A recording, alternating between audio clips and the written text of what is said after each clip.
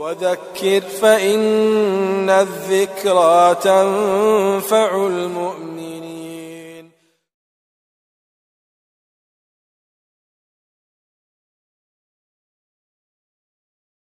Hər şeydən öncə qardaşlar, Allah subhanahu wa ta'aladan təqvalı olmağı daima bir-birimizə xatırlamalıyıq, tövsiyə eləməliyik.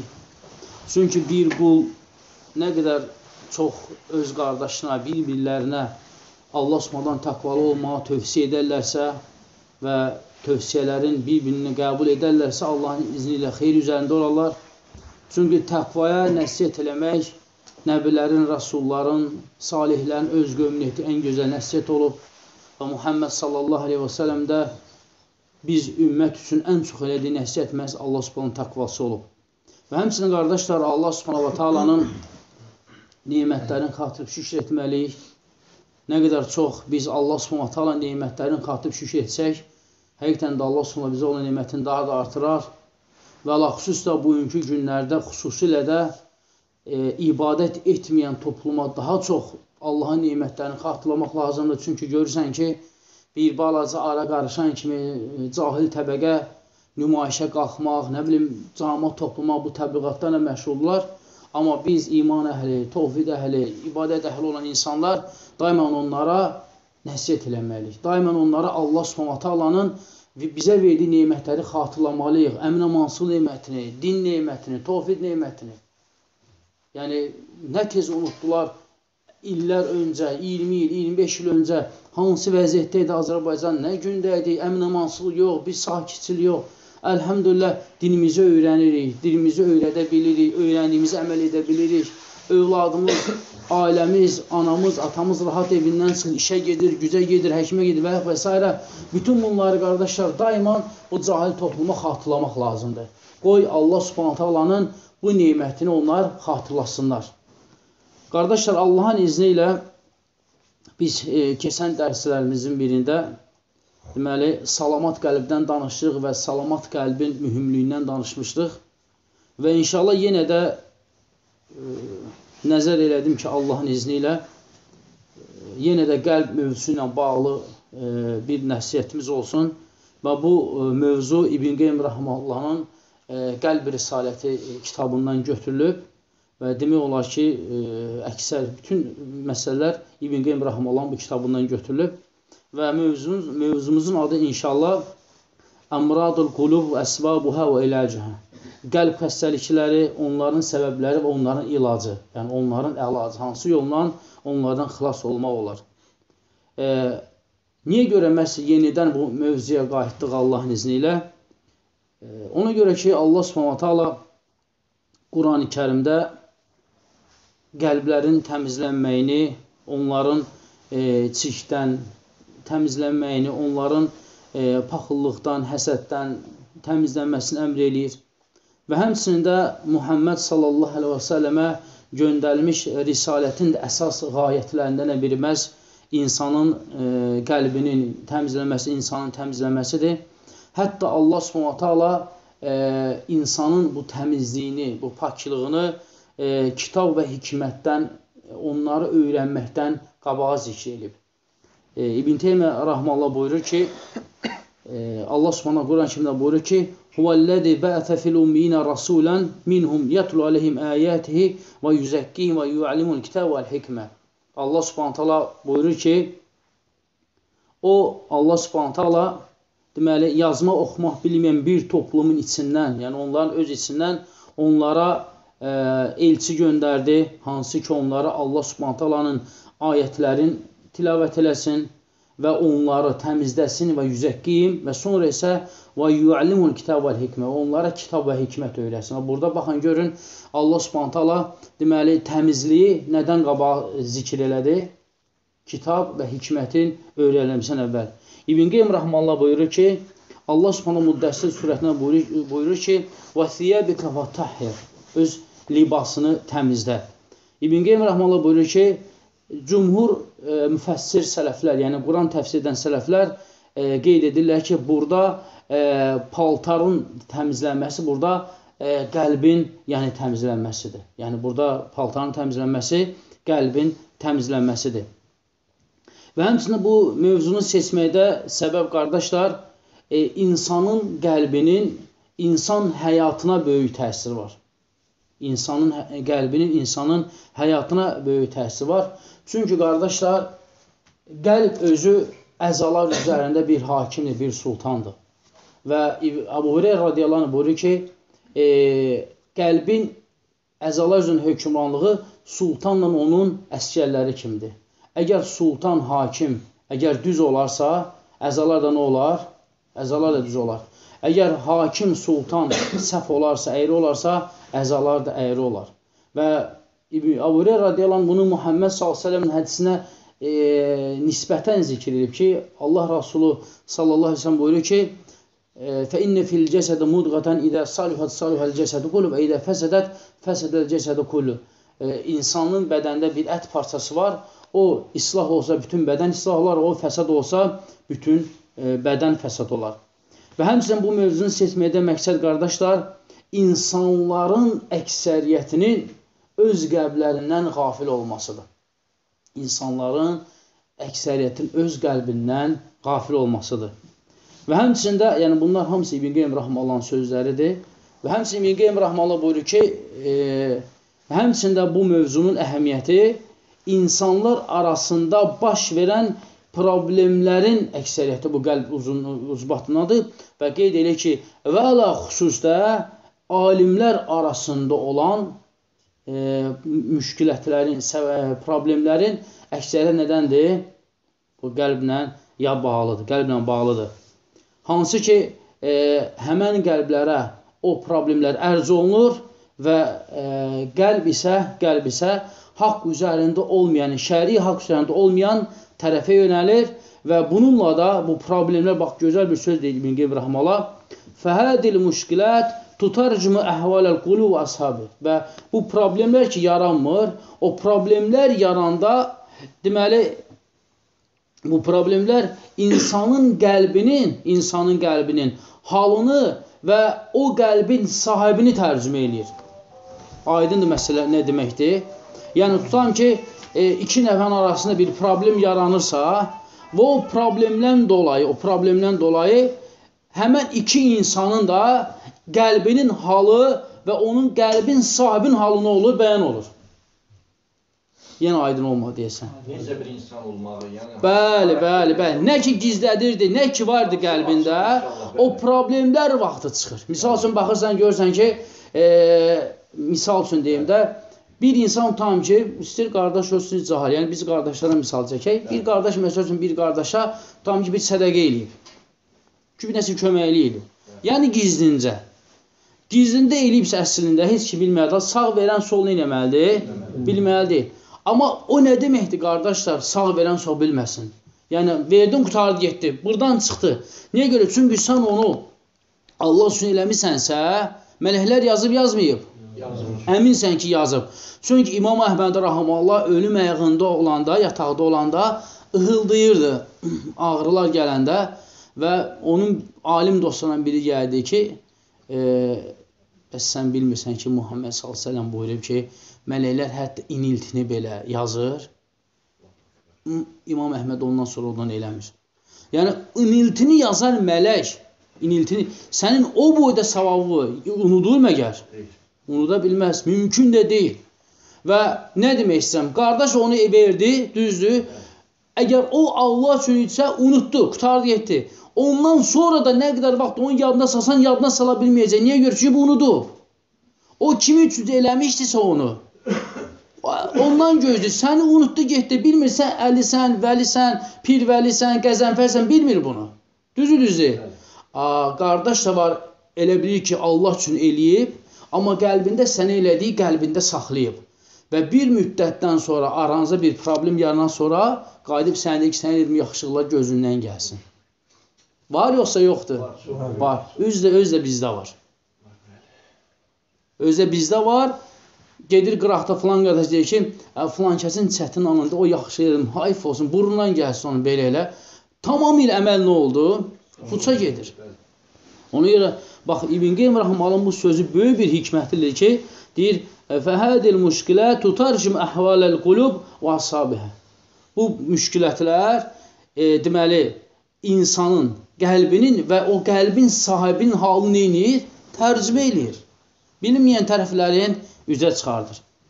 Və həmçinə qardaşlar, e, bu mövzuda seçməkdə əsas səbəblərdən də bir də məhz odur ki, insanın qəlbində iki cür ağrılar olur. Yəni insan bədənin, cəsədində iki cür ağrılar olur. Onun biri fizikidir, biri də nədir? Mənəvidir. Yəni fiziki ağrı olanda baş ağrıyan kimi insan hiss edir, hiss eləmir. Baş, qulaq, diş, burun, nə bilim, bütün əzalar da hansı ağrıyan kimi insan dərhal nə edir? Hiss eləyir və dözə də bilmir ailəsinə qəzəblənir, atasına qəzəblənir, ağrıya dözə bilmir. Səhər nə olur olsun, hətta bəzi ağrılar olur ki, gecə ilə bunu e, yüzüsə zəng ellər, təcili tibbi yardım aparır, dün dözə bilmir. Amma ikinci ağrı mənəvi ağrıdır. O da inşallah sadalığımız məsələlərdir ki, insanlar bundan nə olur? Çox zaman qafil olur. Ona görə İbn Qeym Rəhmələ qeyd edir ki, e, Qaflətu kəthirun minə nəsmi ən qulubihim. İnsanların çoxu öz qəlblərindən deyir, qafildirlər. Deməli, bu e, səbəblərdir ki, məhz niyə görə bu mövzuya bir də qayıtdıq və inşallah isə keçək e, qəlb xəstəliklərindən bəzilərinə. İbn Qeym Rəhmələ gətirir ki, qəlb e, xəstəliklərin ən birincisi və ən təhlükəlisi və o deyir nifaqdır.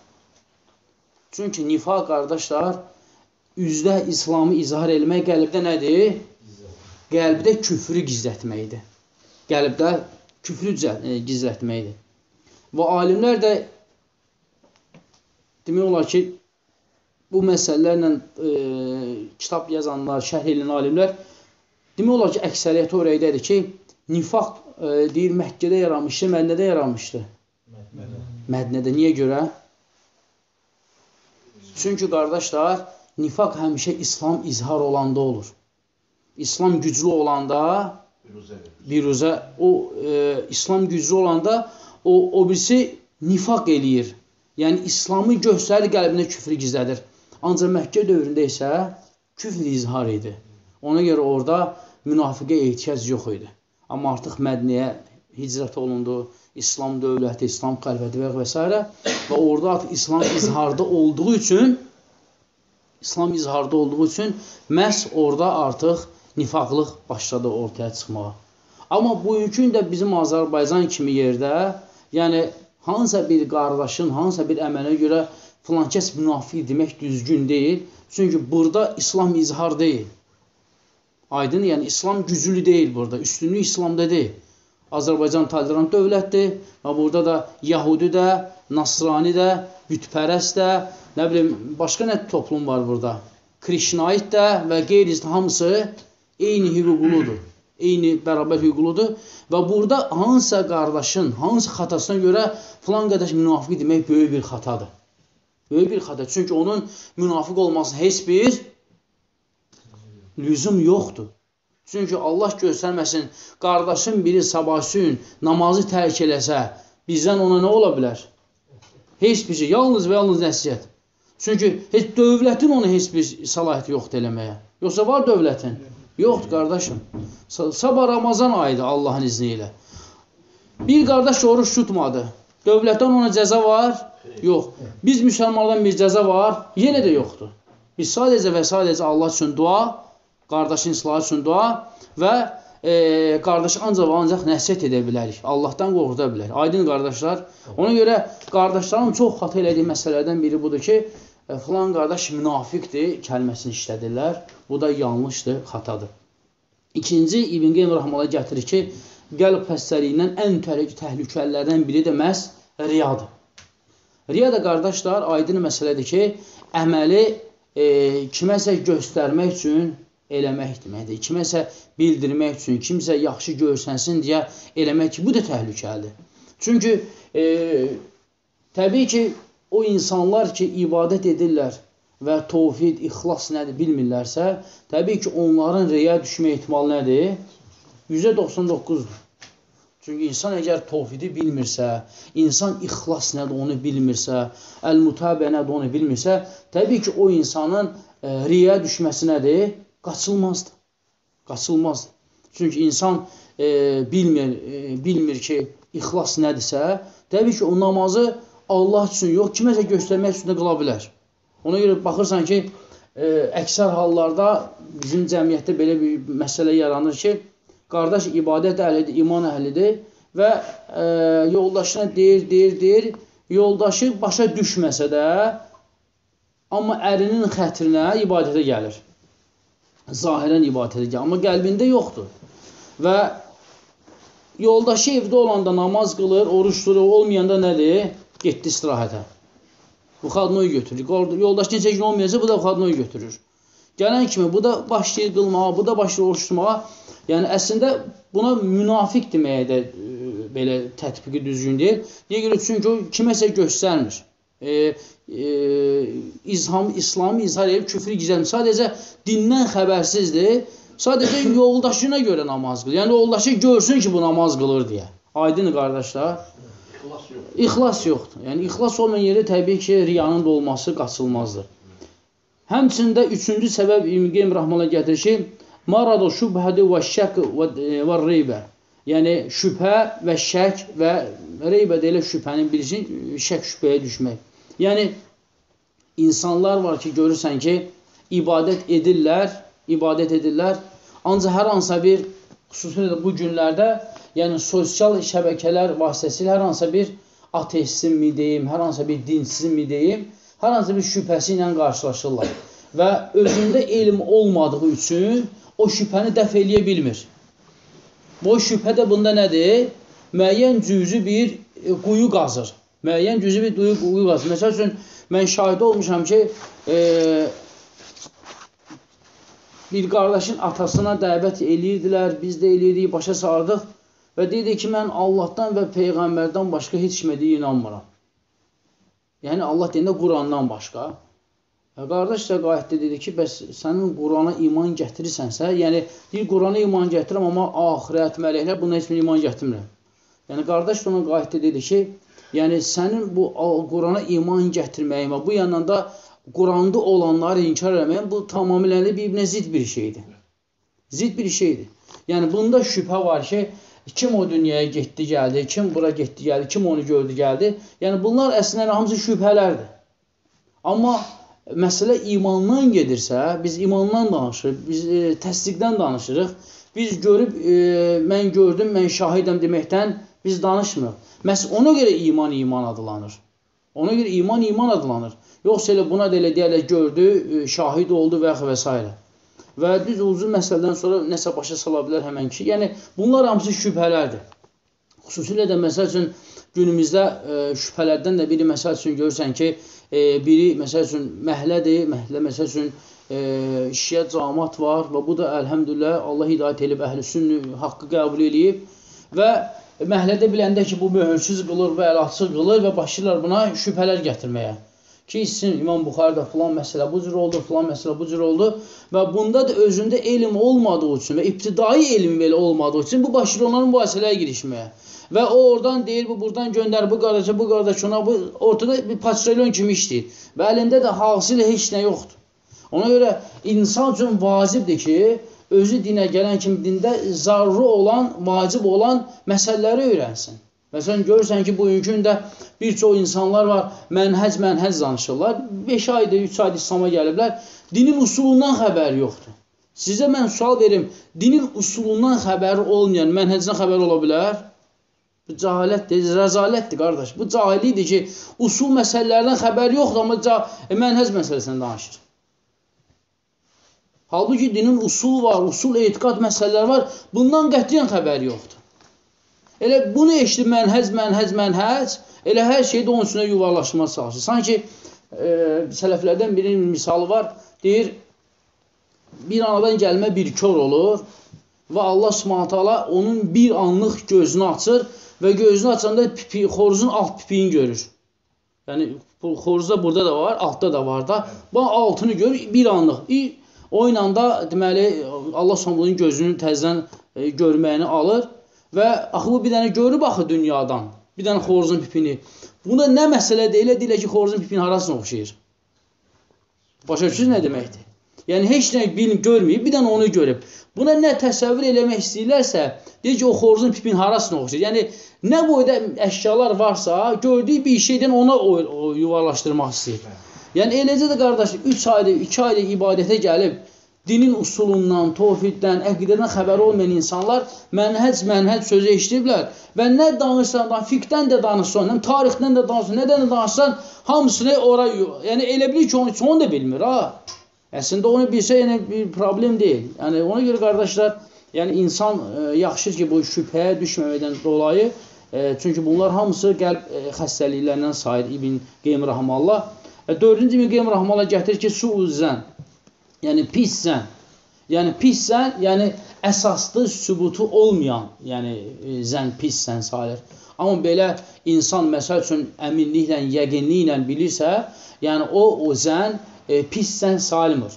Çünki Allah Subhanahu Quran-Kərimdə zənlərin hamısını yox, əksəriyyətini yəni e, pis zən sayır. Amma e, haqq zəndə nədir?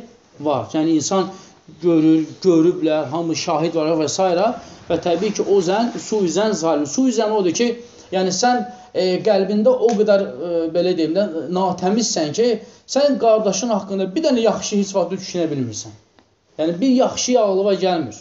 Yəni bir işi olan kimi ancaq pissən, ancaq pis tərəfin fikirləşsən. Ancaq yəni e, çalışsan ki, bir e, neqativ hallarla vəsf eləyəsən. Yəni bir e, təmiz bir şey ağlıma gəlmir. E, onu bir nizata çıxaran, bir e, ortadan çıxaran bir şey yəni ağlıma gəlmir. Bu da təbii ki, e, insanın qəlbinin bu e, mərəzlərlə dolu olmasına yəni dəlalət edir. Və həmçində İbn Qeym rəhməhullah gətirir ki, həsəd.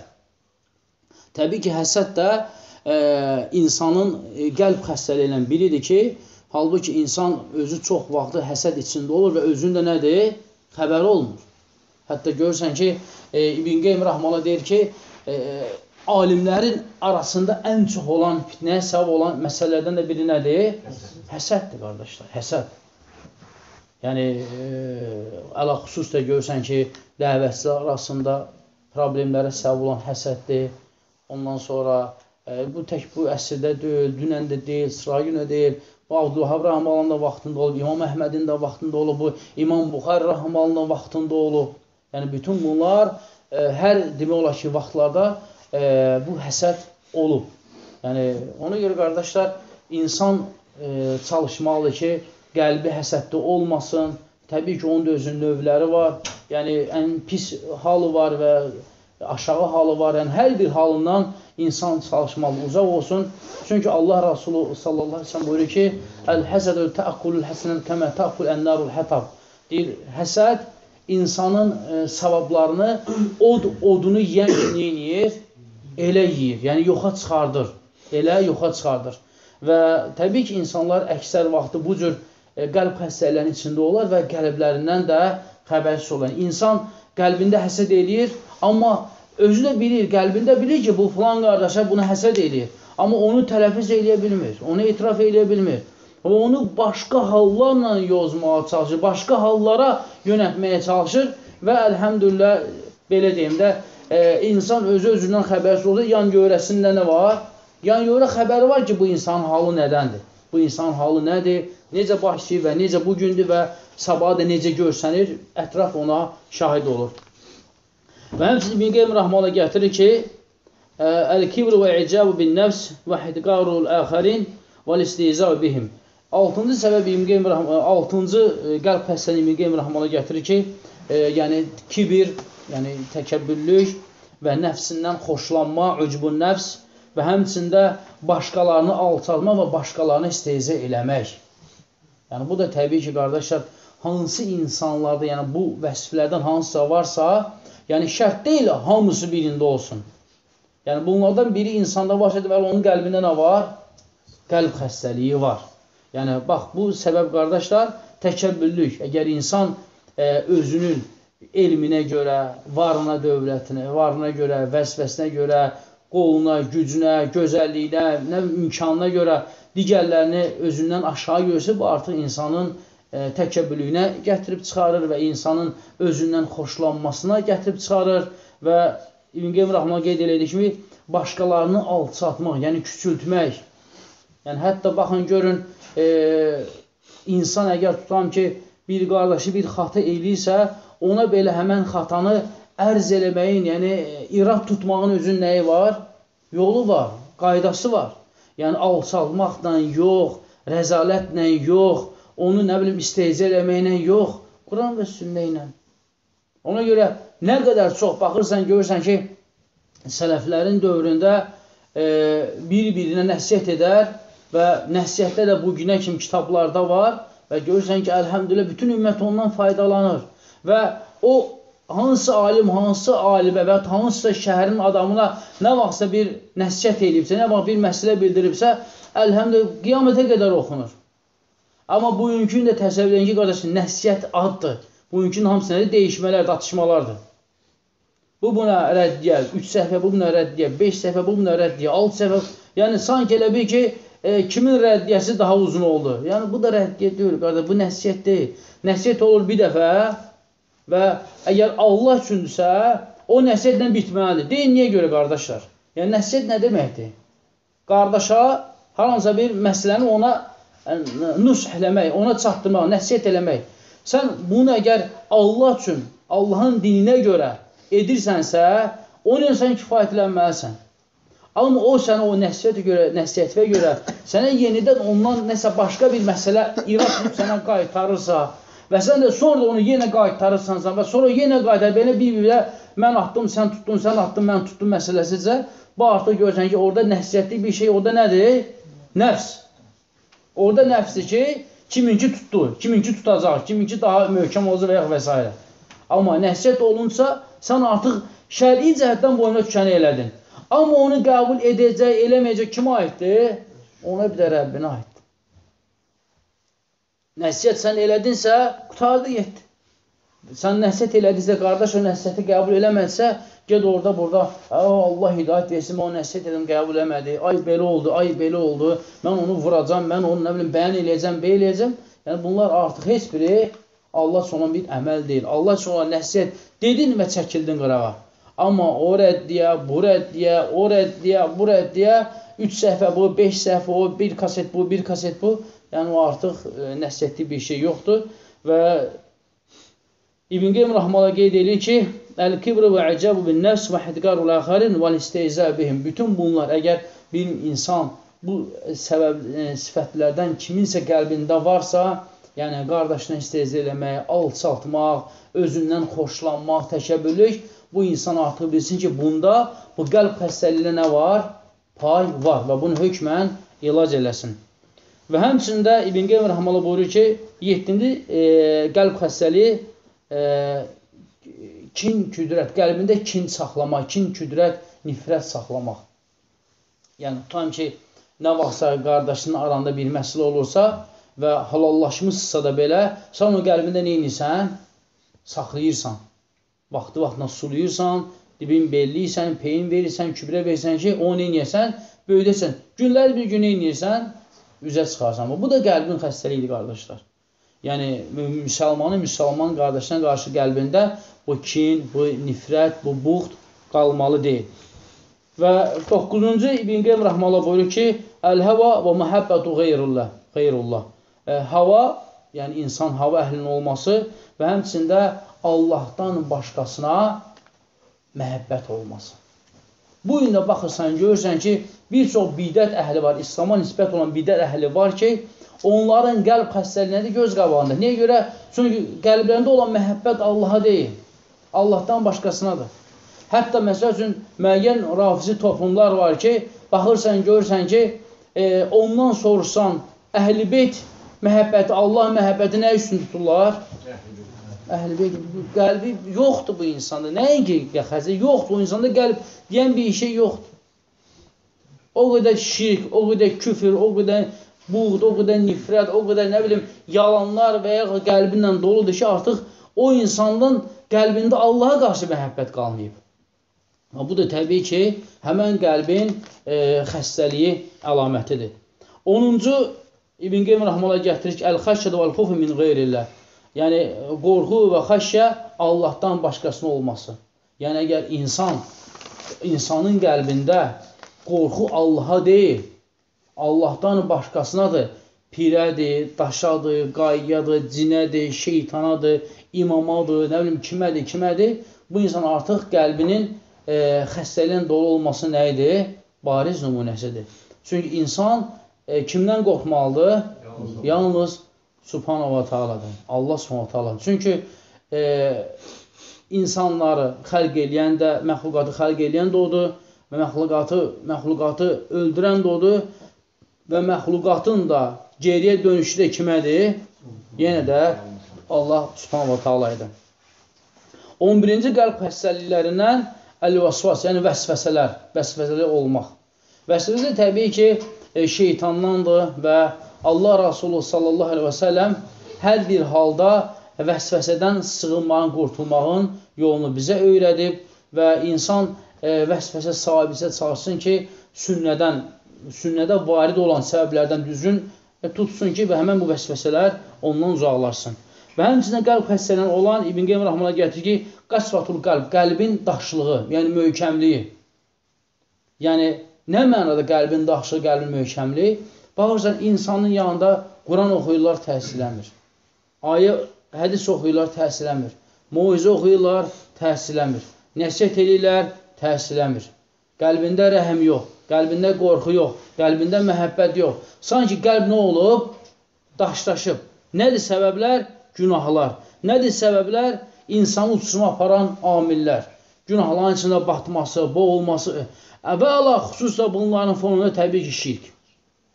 Təbii ki, şirk. İnsanın Allaha şərik qoşması, Allahdan başqasından e, istəmək, Allahdan başqasından qorxmaq, sığınmaq, Allahdan başqasını sevmək, bütün bunlar hamısı təbii ki, həmən insanın qəlbinin daşlığına, yəni gətirib çıxarır. Və həmçində e, sonuncu İbn Qeym Rəhmələ gətirir ki, Ət-təhəzzüb ilə qeyril haqq. Onun üçün səbəb İbn Qeym Rəhmələ gətirir ki, haqdan başqasına e, toplanmaq, yəni hizbilik. Yəni haqqa deyil, haqqın əksinə təhəzzüb eləmək, yəni hizbilik eləmək, bir qruplaşma eləmək. Yəni haqq bu tərəfdədir, sən hansı tərəfdəsən? Digər tərəfdəsən. Bu da İbn Qeym Rəhmələ gətirir ki, kimin ki qəlbində bu hal varsa, yəni hizbilik də məlum məsələdir nə demək. Hizbilik hər hansı bir fikrə, hər hansı bir şəxsə, hər hansı bir topluma, e, toplumun ətrafında olmaq deməkdir. Yəni haqqa deyil, fərdə şəxsə nisbət olunmaq. Haqqa deyil, hər hansı bir, misal üçün, xocanın ətrafında olmaq. Misal üçün, bu gün görürsən ki, hər hansı bir e, topluma nisbət olunana e, dəlillər gətirsən, o dəlilləri qoyur bir qara, özün kimə nisbət eləyir? həmən şəxsə, həmən fikrə, həmən əqidə, həmən mənhəcə, bu da təbii ki, qardaşlar, həmən insanın qəlbinin xəstəliyi nə idi? Zahir nümunəsidir. İndi isə keçək, qardaşlar, e, bu qəlbi, qəlbləri bu xəstəliklərə e, aparan səbəblərə. Təbii ki, hər bir, e, deməli, e, bu xəstəliklər ki, var idi, zikirlədik, təbii ki, e, onların hamısını aparan səbəblər var. Yəni, indi biz Allahın izə səbəbləri zikr edəcəyik. İbn Qeym Rəhmələ gədirir ki, ən birinci cəhalətdir. Yəni, insan qəlbinin, yəni bütün sadalağımızın hansısa birini götürsən, götür, əla başlıca xüsus onların səbəbi nədir? Cahillik. Çünki cahillik ən böyük uçurumdur, ən böyük zəlalətdir. Cahillik ən böyük nöqsandır ki, onun səbəbi ilə insan təbii ki, şirkə də düşər, onun səbəbindən küfrə də düşər, onun səbəbindən insan qəlb xəstəliyinin hər birinə də düçar ola bilər. Halbuki İbn Qeym Rəhmələ qeyd edir ki, o e, cəhalət ki, insanı sürüyür. Həm e, qəlb xəstəliyinə, həm də fikri e, xəstəliyinə. Həm qəlb həm də fikir xəstəliyinə. Görürsən ki, cahillikdən dolayı, qəlb cahilliyindən dolayı insan Quran və sünnəyə deyil, başqa bir fəlsəfəyə neyinir? yönəlir. Bu da təbii ki, İbn Rəhman dediyi kimi, Əl-cəhlu fəhu yaqud iləl-əmrad əl-qəlbiyyə vəl-fikriyyə. Cəhalət insan həm e, qəlb xəstəliyinə, həm də fikri xəstəliyinə eləyir, insanı sürür, insanı aparır. İkinci qardaşlar, e, qəlb xəstəliyinə aparan səbəblərdən ikincisi fitnələr. Təbii ki, hər fitnə çıxan vaxtı əgər insan e, sünnədən uzaqdırsa, çünki fitnələr ləbuddur. Fitnələr Muhammed s.ə.v onun barəsində xəbər verib. Və ən böyük fitnə Məsih Dəcalın fitnəsidir. Muhammed s.ə.v xəbər verib. Və Muhammed s.ə.v ümmətdə olan e, hallardan, ümmətdə olan e, problemlərdən bizə xəbərlər verir. Bunlar hamısı da fitnələrdir.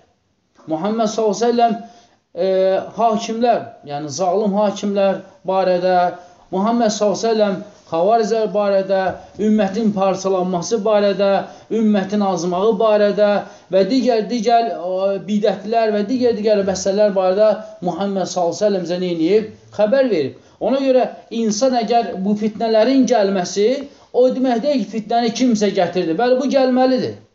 Çünki bu Allah Subhanahu qədəridir. Bu Muhammed s.ə.v öncədən xəbər verib.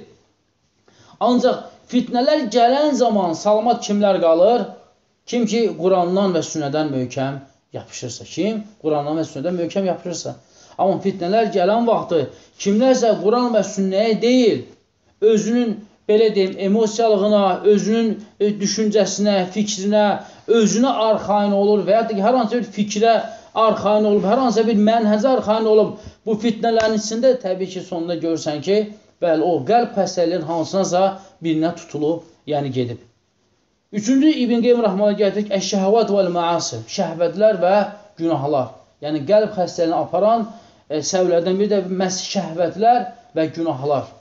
Və görürsən ki, insan e, burada günahlar, baxın, demir böyük və da kiçik günah, qeyri onu günahlar. Çünki bəzi hallarda görürsən ki, insanlar böyük günahlardan xəbərdardılar.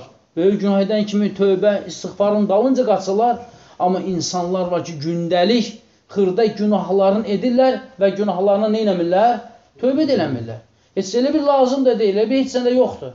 Halbuki alimlər, sələflər buyurur ki, sən baxma böyük qayalar, həqiqdən də böyük qayalar nədəndir? Xırda çınqıllardan, çınqıl daşlardandır. Çünki o boyda böyük qayaları, qayaları təmizləmək üçün nədən istifadə edirlər?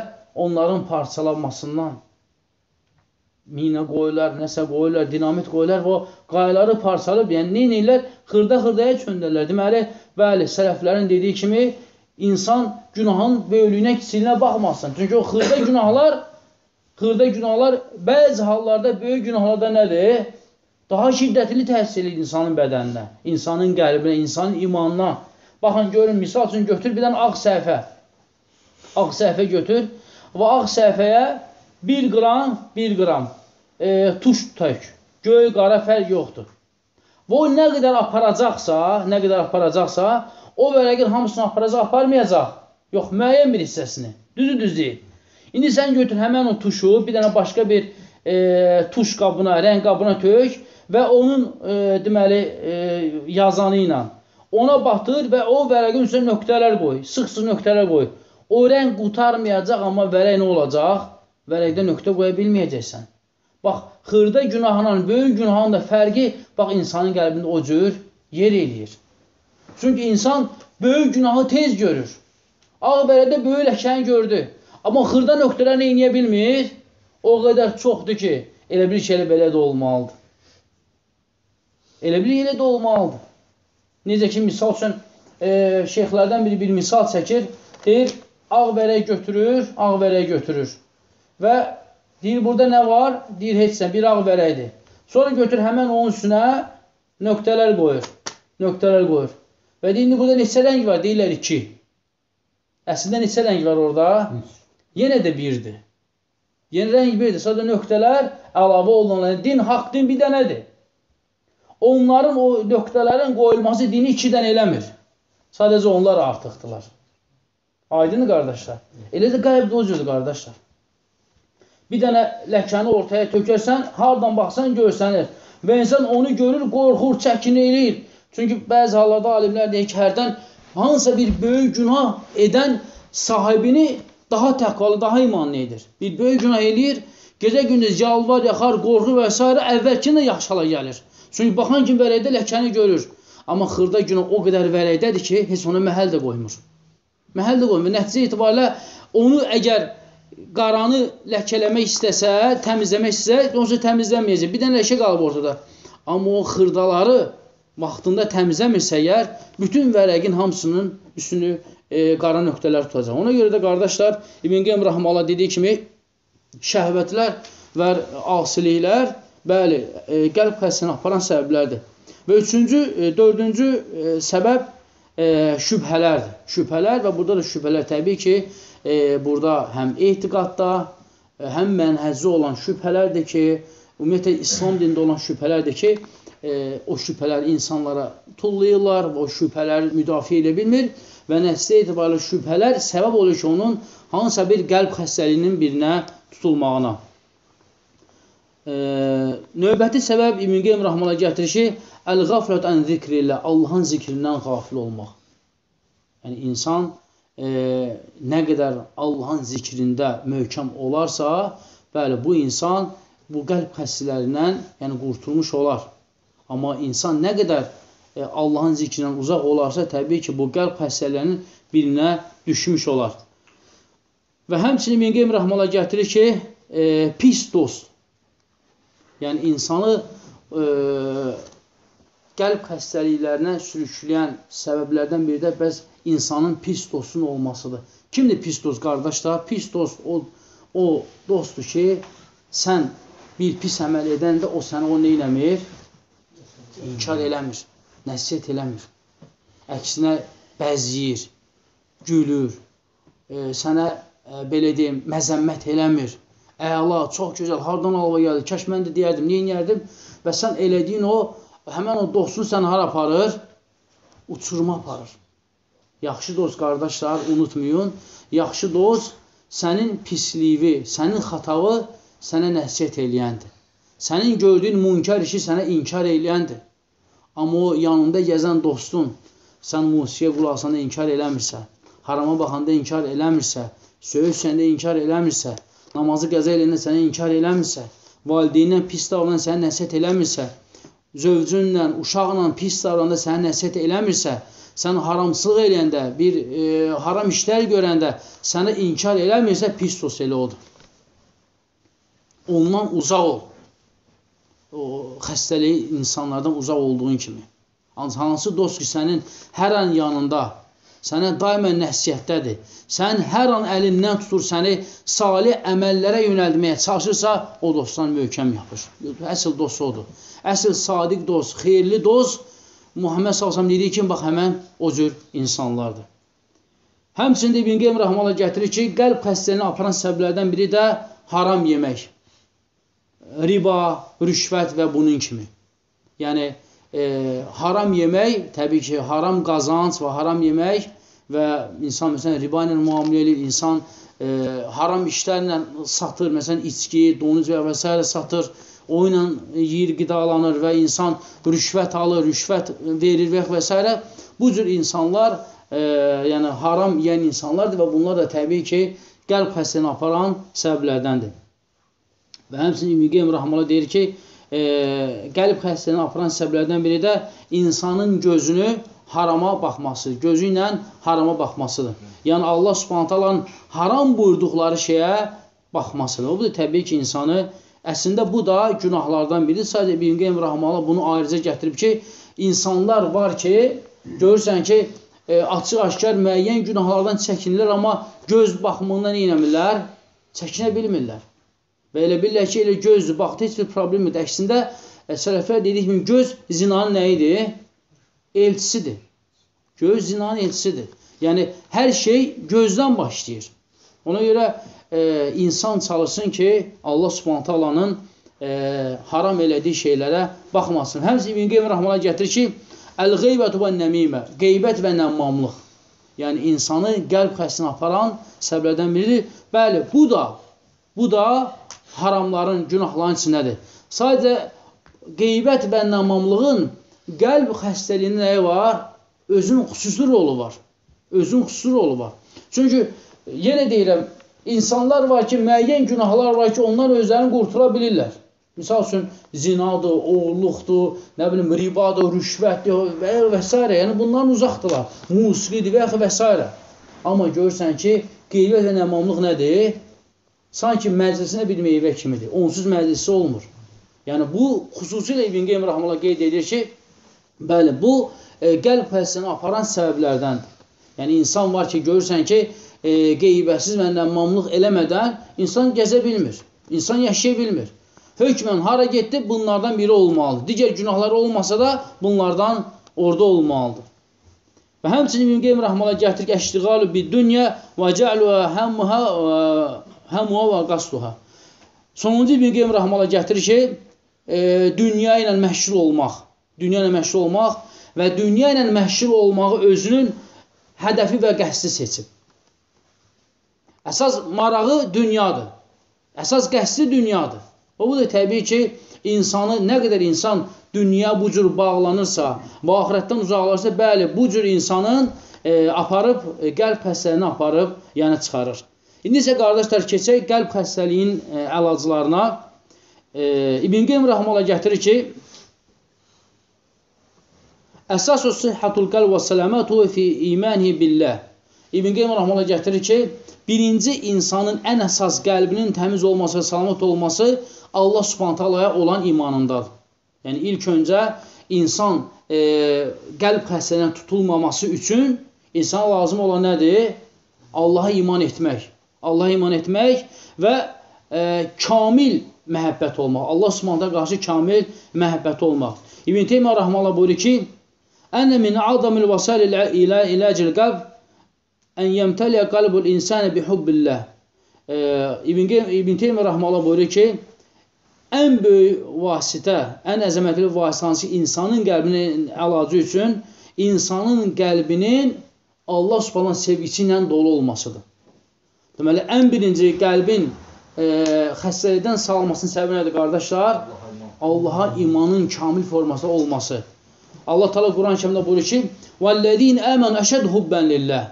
İman etmiş şəxslər, onların sevgisi Allah nədir?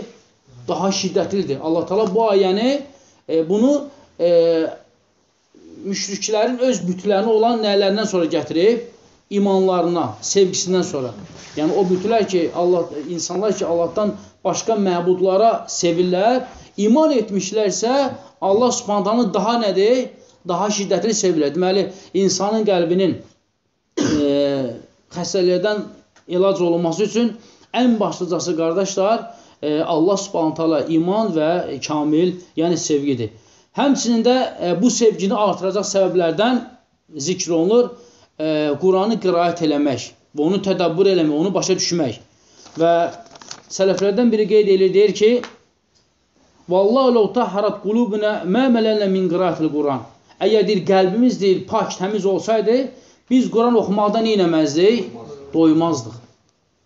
Deməli, əgər insan e, qəlbi bu cür xəstəlikdən pak olsaydı, təmiz olsaydı, insan Quran qiraətindən, Quran tilavətindən neynəməzdi? Doymazdı. Və həmçinin də e, müəllif gətirir ki, taqarrub ilallah bin nawafil ba'dəl faraid. Allah Subhanahu taalaya fərzlərdən sonra nafilələr nə etmək? Yaxınlaşmaq. Bəzi insanlar görsən qardaşlar, nafiləni fərzə nə edirlər? Daha ixlaslı edirlər. Daha şiddətli üstünə deyəm, nafiləyə Amma sünnədə necə olmalıdır? Ən birinci, necə səhih hədisədə gəldiyi kimi, insan Allah subhanə nə ilə yaxınlaşmalıdır? Fərzlərlə. Fərzlərdən sonra nafilələr olmalıdır. Amma insan var ki, baxırsan ki, fərzləri səhlənkar yanaşır, nafilələri elə tutur, elə tətbiq edir ki, elə bil ki, sanki yerlərini səhv salıb. Nafilə olub onun üçün fərz, fərz olub onun üçün nafilə. Həmçinin müəllif qeyd edir ki, davamu zikrillah. Allah subhanan daima neynəmək? Zikr eləmək. Necə bir hədisdə Allah Rasulü sallallahu aleyhi və sələm buyurur ki, Lə yəzəl lisanuka ratbika min zikrilə. Sənin dilin Allahın zikrindən olsun, daima islansın. Yəni dil Allahın zikri ilə daima mütəmadi olaraq islanmalıdır. Bu da təbii ki, zikrin davamlı olmasıdır. Və həmçinin müəllif gətirir ki, e, Mutaliatul qalb li əsməyi və sifəti. Qəlbin, yəni insanın e, Allah Subhanahu ad və sifətlərini mütaliə eləməsi. Təbii ki, Allah Subhanahu eşidəndir, Allah Subhanahu görəndir. Kim ki Allah Subhanahu taalanın ad və sifətlərini daim mütaliə edərsə, təbii ki, o daimən xatırlayır ki, Allah Subhanahu nədir? Eşidən və görən və biləndir. Ona görə e, insan qəlbində nəsə gizlədirsə belə, öz qəlbindən bilir ki, bu problemləri var və daimən də bunu izhar edir və onun müalicəsinə çalışır.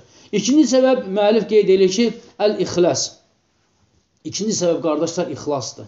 İnsanın e, Allah Subhanahu ibadətində ixlaslı olmasıdır. Allah Subhanahu Quran-Kərimdə buyurur ki: "Qul inna salati və nusuki və məhiyyə və məti lillahi rabbil alamin. La şərikə ləhu və bizəlik umirtu və awwalul mu'minin." Allah Taala buyurur ki: "De, həqiqətən də mənim namazım, qurban kəsdiyim qurban, ölümüm, dirilməyim aləmlərin Rəbbi olan Allah Subhanahu taala üçündür və onun heç bir şəriki yoxdur və mən bununla əmr olunmuşam və mən ən birinci möminlərdənəm. Deməli, insanın e, ixlaslı olması, hər bir əməndə ixlaslı olması insandan tələb olunan əməldir. İbn Qeym Rəhmallah buyurur ki, e, əməllərinizi Allah üçün ixlaslı edin və qəliblərinizin rahatsızlığını görəcəksiniz və sinənizdə rahatsızlıq tapacaqsınız. Deməli, insan ibadətdə, əməllərində qəlbi və sinəsi rahatsızlıq tapmırsa, o nəyin dalalətidir? Əməllərin ixlaslı olmamasıdır. İbn Qeym Rəhməllah buyurur ki, Əxlisu lillah fi əməlikum sətəcidunə rahətən fi qulubikum və fi sudurikum. Əməlləriniz Allah üçün ixlaslı edin və qəlbinizdə və sinənizdə nə edin, nə tapacaqsınız?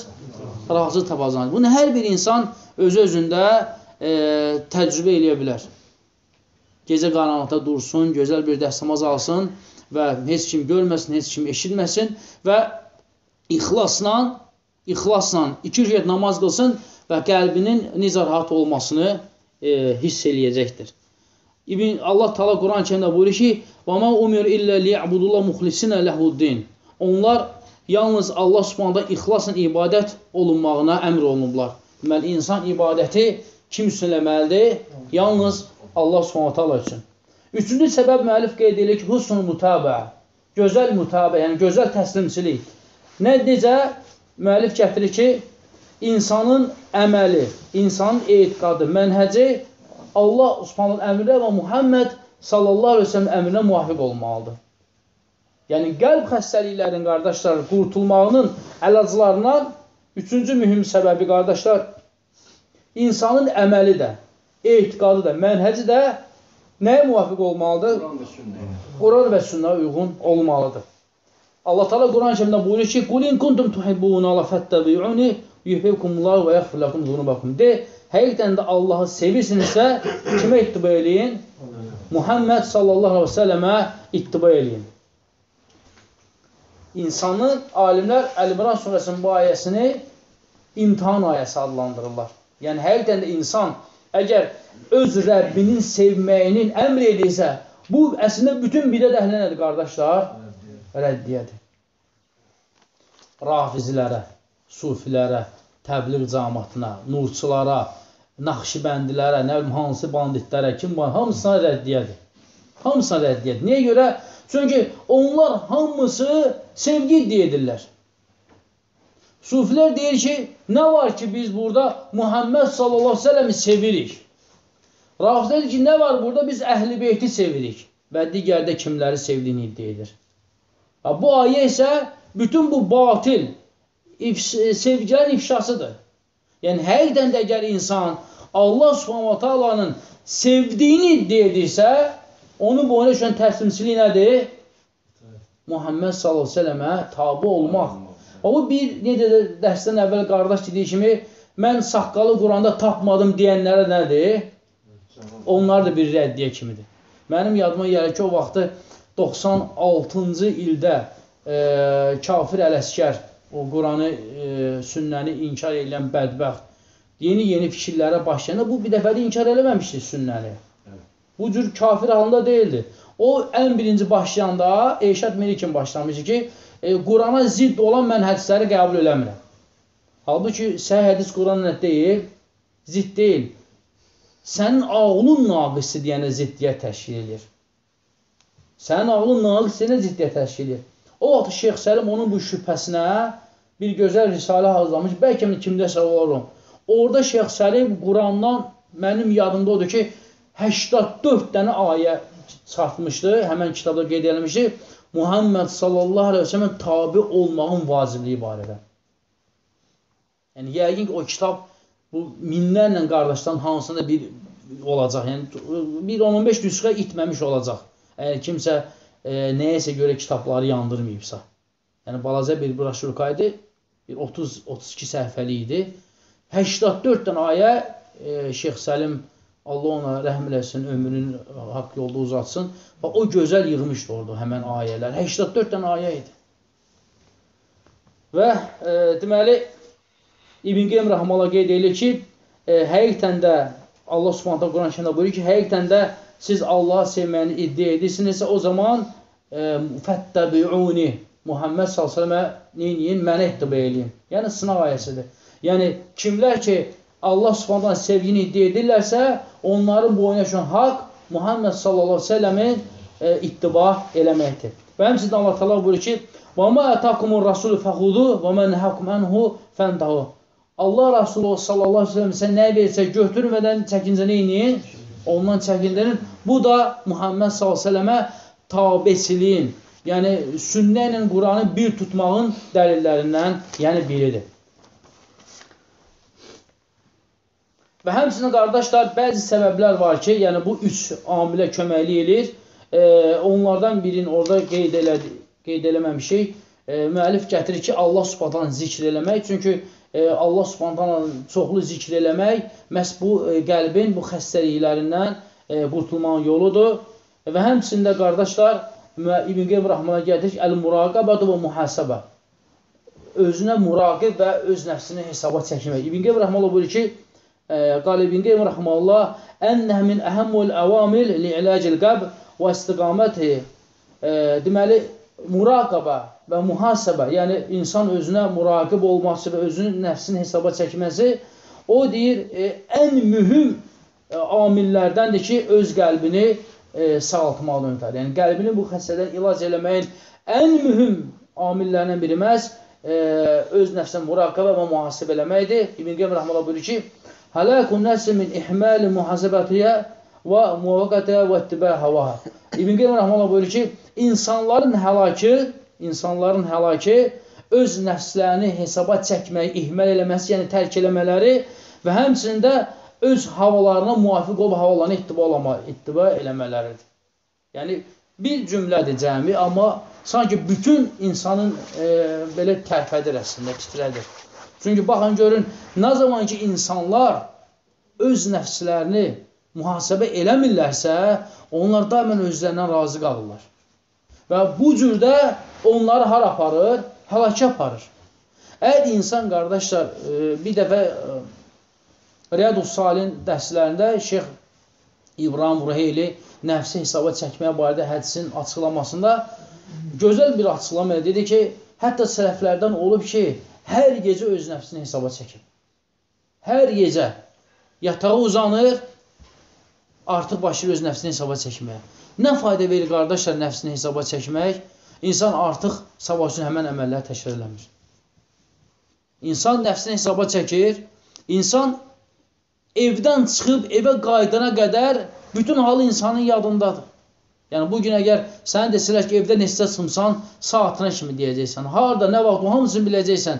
Kimlə qarşılaşdın, kimə nə dedin, kimə nə zülm edin, kimin qoluna çiyin atdın, kimin naməhrəminə baxdın, kimin orada nə bilim e, tərəvəzini əzdin, kimin neyin edin, hamısı insanın yadındadır. Sadəcə biz bunun üstündən ötüb keçirik. Amma insan öz nəfsini hesaba çəksə və hər gündəlik çəksə, insan o xataları təkrarlamır. Tam ki, bilirsən, günləri bu üçdən keçsən, düz deyil. Və sən eyni anda da naməhrəm qız da keçir. Ola bilər, o da tələbədir, o da işləyir, o da yol keçir və sən bilirsən ki, buradan səndən başqa da kimlər keçir? Naməhrəmlər keçir. Bugün sən baxa-baxa keçdin. Axşam özün əsri hesaba çəkdin. Sən nə edəcəksən? Baxmayacaqsan. Çünki bilirsən ki, səninlə eyni anda o da nə edir? O da keçir. Bu gün getdin evdən çıxdın, işini gördün, getdin qardaşın dükanına, bir dənə qardaşın qeybətini elədin. Axşam nəsbi hesaba çəkdin. Mən bunu nə eləmişəm? Keçdim filan qardaşın dükanına, filan qardaşın 2 dəqiqəlik qeybətini elədim. Sabah nə eləməyəcəksən? Onu eləməyəcəksən. Bax, budur faydası qardaşlar nəfsi hesaba çəkməyin. Və bu nəfsi, baxın İbn Qeym Rəhmə deyir ki, həlakun nəs insanların həlakı nə iləndir? Min ihməl, tərk eləmələri. Yəni fikir vermirlər nəfslərini mühasibə eləməyə ümumiyyətlə fikir vermirlər. Halbuki, qardaşlar, biz fikir verməyə bilərik. Heç belə vecimizə də almayaq. Mələklər yazır, yazmır. Və sən hər gün dəli əməli təkrarlayırsan, amma sən nəfsini hesaba çəksən, valla sən onu təkrarlamayacaqsan. Sən qorxacaqsan Allahdan. Çünki qardaşın qeybətini elədin, elədin. Axşam düşündür, fikirləşin, səhər gedəcəksən, qardaşı bir dənə hədiyyə alacaqsan, könül olasın, deyən qardaşlar, haqqı var elə, mən səndən qeybət verim. Eləyirsən, eləməyəcəksən. Bunu eləsən, sənin qəlbində təmizlənirsən. Və nəfsini hesaba çəkməyin səbəbi məhz budur, qardaşlar. O günahı itirmək, o günaha qayıtmamaq, o günahdan uzaqlaşmaq. Əgər sən bilirsənsə ki, sən qeybət eləmək istəmirsən, fikrin də yoxdur, amma qardaşın yanına getsin, o qeybət eləyəcək və sən də məcburan qulaq açacaqsan, ona görə sənsə bu onun yanına getməyəcəksən. Sən artıq ondan uzaqlaşacaqsan. Bax, budur faydası, qardaşlar. Və nə zaman insanlar nəfsi hesab çəkməyi tərk edirlərsə, hara sürüklənirlər? Qəlb xəstəliklərinə. Qəlb xəstəliyinin hansına da həsəd, paxıllıq, nə bilim, başqa-başqa səbəblərə gedib qəlb xəstəliyinə düçar olurlar.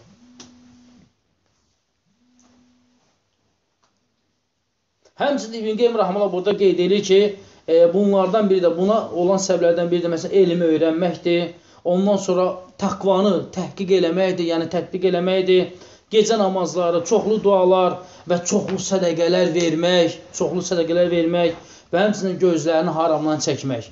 Bu da İbn Qeym Rəhməllahın gətirdiyi, yəni səbəblərdir və sonuncu məsələmiz qaldı qardaşlar.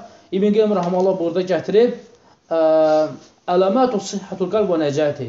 Qəlbin təmiz olmasının əlamətləri. Nə əlamətlərdir ki, insanda bilinsin ki, bunun qəlbi artıq bu cür e, e, belə deyim, e, pak olmayan şeylərdən e, uzaqdır. İbn Qeym Rəhməllah qəlbin e, deməli təmizliyin əlamətlərindən gətirir ki, təmiz qəlb, yəni bu xəstəliyə düçar olmayan qəlb insanı daima, yəni qəlb insanı daima tövbə eləməyə çağırır. Hər dəfə, hər an səni tövbə eləməyə çağırır. Yəni sən daima nəsə eləyən kimi səni nəyə çağırır? Tövbəyə çağırır. Bu salamat qəlbin əlamətidir.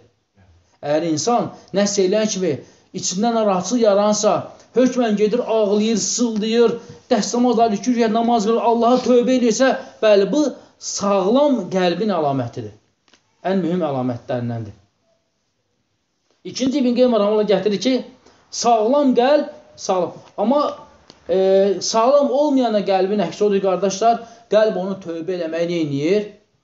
Uzaqlaşdırır. Gözdə sabah eləyərsən. Gözlə birisini eləyərsən. Gözlə filan şey elə sonra eləyərsən.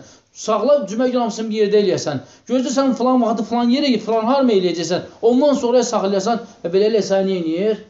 Tövbəndən uzaqlaşır. Bu isə əksinə sağlam qəlbin əksidir. Sağlam, təmiz qəlb insanı hara tələsdirir? Tövbəyə. Tövbəyə. Amma e, xəstə qəlb isə, salamat olmayan qəlb isə tövbəni edir səndən? Uzaqlaşır, gecikdirir. Hətta ölümə qədər. Hətta ölümə qədər. Baxın, görün, nə qədər cahillər var ki, dəvət eləmişsiniz, eləyirsiniz də, nə deyirlər? Filan işim var, qutarım, sonra gələcəm. Gələ bilir, gələ bilmir. Çox nadir halda. Əksərlərinə ölüm müvəffəq olur. Əksər insanlar tövbələrin gecikdiklərinə görə də ölümlə nəsə. Axır ölüm haqlayır onları. İkinci, sağlam qəlb qardaşlar Allah subhanahu ta'alanından Allah Subhanahu zikrindən doymur və Allah Subhanahu ibadətlərindən də bezmir. Yəni nə qədər zikr eləsə, qəlb rahatlanır, qəlb rahatsızlıq tapır. Allah Taala Quran-Kərimdə buyurur ki: "Ələ bi zikrlər tətmainul qulub." Qəlblər nə ilə rahatsızlıq tapır? Allahın zikri ilə. Və həmçində insan ibadətdən bezmir, ibadətdən soyumur. İnsan var ki, məsəl üçün boş vaxt tapan kimi açır internetin zirzibil axtarır oradan. Vaxtın namaz qılı gedir, vaxtın nəyəcə bir vaxtını öldürsün. Nəyəcə bir vaxt baxsın 5 e, dəqiqə zikirlədi, bəs eləyir. Sünnəni qıldı, bəs eləyir. Qalan günü öz asuda vaxtına sərf eləyir. Amma e, sağlam qəlb isə qardaşlar Allah Subhanahu zikrindən doymur və ibadətdən də bezmir, soyumur. Yəni ibadət elədikcə elə eləmək istəyir. Və həmçində sağlam qəlbin əlaməti odur ki, əgər onu əgər onu hər hansısa bir ibadət ötübsə, yəni edə bilmirsə, o öz nəfsində, öz nəfsində şiddətli ağrı, acı tapır, nəinki öz malını itirməkdənsə. Elə bir ki, insan var ki, bir ibadəti ötürür, eləyə bilmir, amma heç bir sıntı keçirmir. Bu sağlam qəlbin əlaməti deyil. Sağlam qəlb ötürdüyü ibadətin acısını elə şiddətli halda hiss eləyir ki, halbuki malını itirən onun qədər neynəmir? Ağrı keçirmir. Amma insan da var ki, sağlam qəlbin əksi odur ki, insan var ibadəti ötürür və qəlbi zərrə qədəri sızıldamır. Ancaq tükanda onu bir manat allatsalar, bütün tükanı dağıtmağa hazırdır. Vayda yoxuna kimi söyür tükanda. Səni belə eləyərəm, ora yazaram, bir manata görə. Bir manata görə hazırdır bəhkəməyə də müraciət eləsin. Qan da tökməyə. Nə var? Bəlkə də çaşıb satıcı. Bəlkə də xatı eləyib. Bəlkə də köhnə qiymətlə verib özü bilməyib. Bir manatın hərisində dayanırlar, amma imanın, ibadətin hansısa ötürürlər, amma qəlb neynəmir? Sıldamır. Ona görə sağlam qəlbin əlaməti odur ki, qardaşlar, o ötürdüyü ibadətin ağrısını çox şiddətli formada çəkir. Çox şiddətli formada çəkir. Əgər o ötürdüyü ibadəti elə bilmədi ibadətə bu peşmansız ağrı çəkmirsə, o artıq sağlam qəlbin əlamətidir. Həmçində müəllif gətirir ki, Yəcidul lədətən fi ibadətihi əktər min lədəti ta'am və şərab və məlbəs və məskən. Deyir, insan, qəlbi sağlam insan, deməli, ibadətində ləzzət dadır. İbadətində ləzzət dadır. Nəinki, nəinki bir çoxları kimi yeməyində, içməyində, yaşayışında, e, geyimində e, ləzzət dadanlar ki. Yəni, iman əhli, qəlbi sağlam insan ibadətindən ləzzət alır heç yeməyindən, içməyindən ləzzət almır. Amma yəni namaz qıldıqca ləzzətini alır. Oruç tutduqca ləzzətini alır. Sədaqə verdikcə ləzzətini alır. İnsan da var ki, baxırsan ki, ləzzəti yaxşı yeməkdə, yaxşı geymək, yaxşı yaşayış, yaxşı e, paltar və s. bunda ləzzətini tapır. O isə qəlb xəstəliyin əlamətidir. Deməli, qəlb sağlam olan insan ləzzəti nədə tapmalıdır? ibadətdə. O qəlb ki, e, ibadətdə ləzzəti axtarmır, digər şeylərdə yemək, içmək, ondan sonra başqa şeylərdə axtarsa, bu qəlbin sağlamlığın əlaməti deyil. Necə Muhammed Salsan buyur ki, e, mənim gözümün nuru mənə harada verildi? Namazda. Deməli, namaz vaxtı gələn kimi müminin qəlbinə yaranmalıdır? Sevgi, nur, sevinç, təbəssüm, Yəni insan hara gedir? Rəbbinin çağırışına cavab verməyə.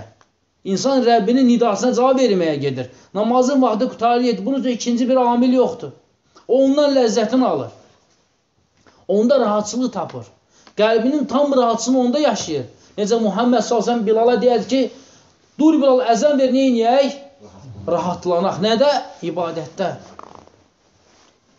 Bəzi hallarda görsən ki, qardaş var deyir ki, Əbə filan il işim var deyir, gözlə 2 dəqiqə namazlığım gəlim. Fərz namazına nə qədər vaxt deyir? 2 dəqiqə.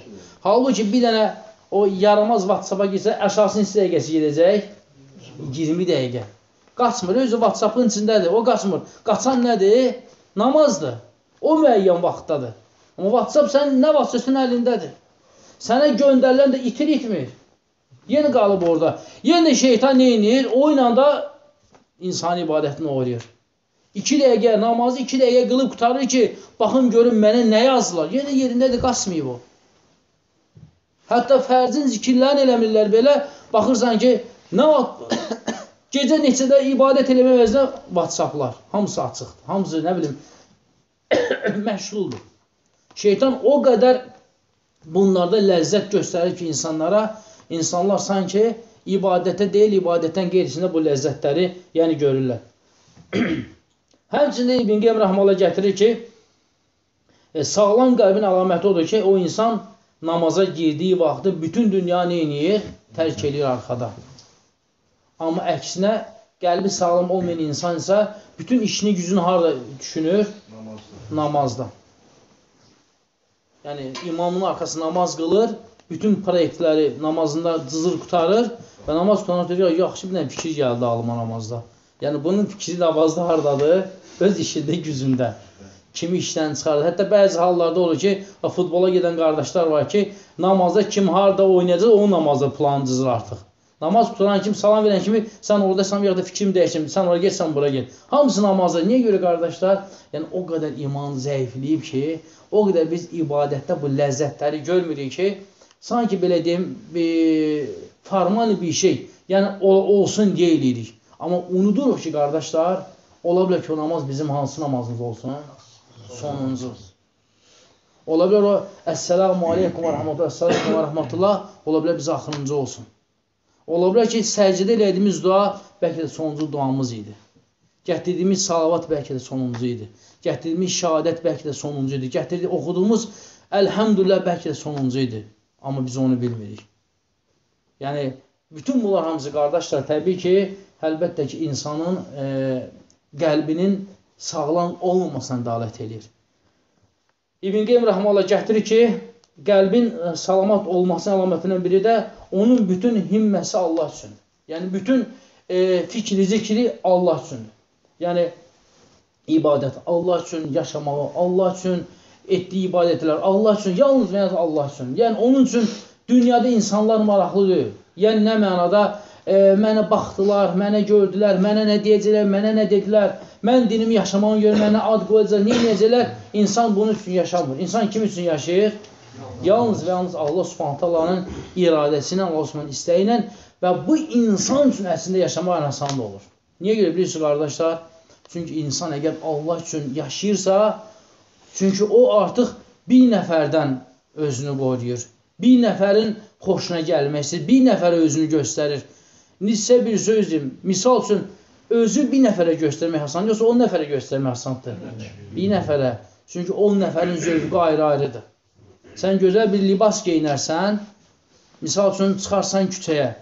Onun üçün sənə yaraşır 15 gecə bu nədir ki, şalvarı dəyişdi. Elə də elə deyil. Amma insan özünü bir nəfərə göstərsə, bir nəfərə sevdirsə, bir tərəfə, bir nəfərə hər şeyini yönətsə, onun üçün heç bir şəxs onun üçün maraqlı deyil. Həmçində qardaşlar, e, əlamətlərdən biri də, sağlam əlamətlərdən biri də qardaşlar, öz vaxtına paxıl olmaq.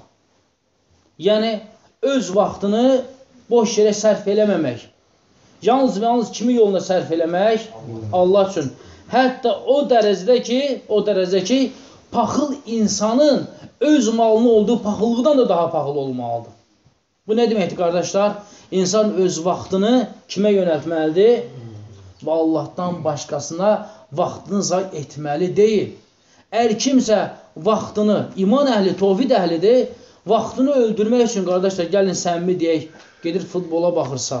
Yəni, futbol oynamaq demirəm, çünki futbol oynamaqda insan üçün nə var, qardaşlar? Fayda var. Yəni, kim nə deyilsin, fayda var, qardaş. Yəni, nə mənada? Əməl özü mübahdır. Amma nəzərə alsa ki, bugünkü gündə biz at minmirik, eşək minmirik, çapmırıq, eləmirik.